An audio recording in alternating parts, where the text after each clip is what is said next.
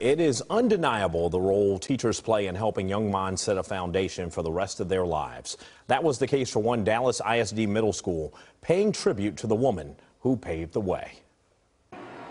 Competing this month in the VEX Robotics Championships, the largest event of its kind in the world at Kay Bailey Hutchison Convention Center, was a victory for Dallas ISD's Robert T. Hill Middle School. Also a chance to bounce back from an unimaginable loss. I was sad, but at the same time, I was angry. And I just I really haven't been the same since. How could they be when they lost their coach, STEM coordinator, and mentor, Elliana Tseng, to a brain aneurysm right after Christmas break? I was like deciding if I really wanted to uh, continue. I came to the realization that it's always better uh, to like do something for somebody even after they passed because it's it, I just wanted to continue her legacy. Elliana's husband and daughter wouldn't have it any other way, using her photo at the competition as a reminder that she would have wanted her students to press on. After all, Tseng spent 13 years at the school and will always be remembered as the shoulder anyone could lean on.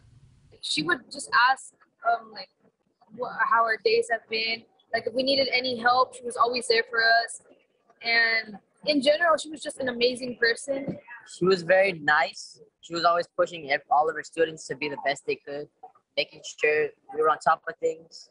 A focus and level of discipline the students would not let go to waste, nor would Robert T. Hill assistant principal Denise Captain, stepping in as coach for a team now minus its leader. It was, again, surprising, shocking, um, I'm just honored and grateful for the opportunity to have, to have worked with her and to continue my part in serving our students and our community in her honor. Elliana Tseng's influence won't go away with this year's robotics competition. The example she set will continue to live on. I want her to still like be really proud of us no matter what we do. You know, the students at Robert T. Hill Middle School say Elliana Tseng helped them in ways that go beyond robotics and STEM. She would often help them with personal matters outside of school. And we know sometimes young people need that just as much. Just as much, if not more, in some cases. You know, you, you lose your teacher, and I can understand the students saying, hey, wait a minute, we don't want to continue on with this because we're sad and we're mourning. But then it kicks in that this is what she would have wanted yeah. us to do to continue on with all the lessons she taught us. And you know, she's looking down smiling about that for yes, sure. Yes, she is. It